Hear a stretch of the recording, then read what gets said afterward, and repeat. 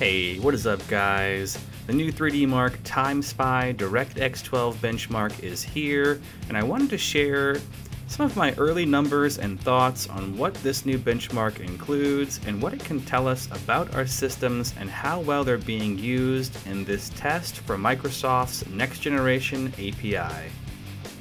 Now, you may have seen in the beginning of the video, I had my CPU all the way up to 5 gigahertz to try and get a max score for you guys. And although I was able to get into the benchmark at that speed, I have yet to actually successfully complete a run at 5 gigahertz on the CPU. And it's a shame too because apparently a little extra clock speed on your CPU is something this new test likes very, very much. You can see from my overclock at 4.7 gigahertz on the CPU to my slightly more aggressive 4.9, the CPU score goes up by almost 700 points. That's only around a 4% boost to clock speed and a gain of about 14%.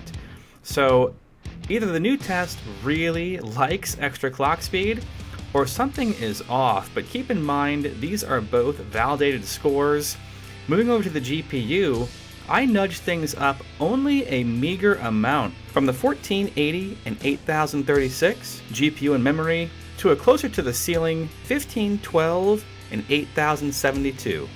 This nets me another almost 200 points, which again is a massive boost to the GPU score on this benchmark, considering the relatively small boost to my clocks.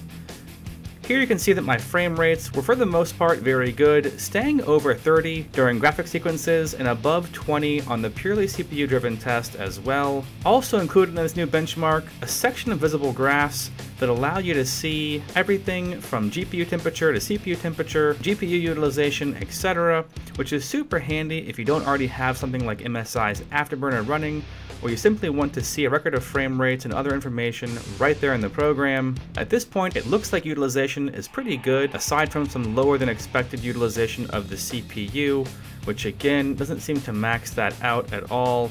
Just seems very interesting to me on an API designed to do just that across multiple cores, uh, but we'll see how that plays out in the future. But for the time being, GPU seems to be maxed out and CPU seems to be underutilized for the most part.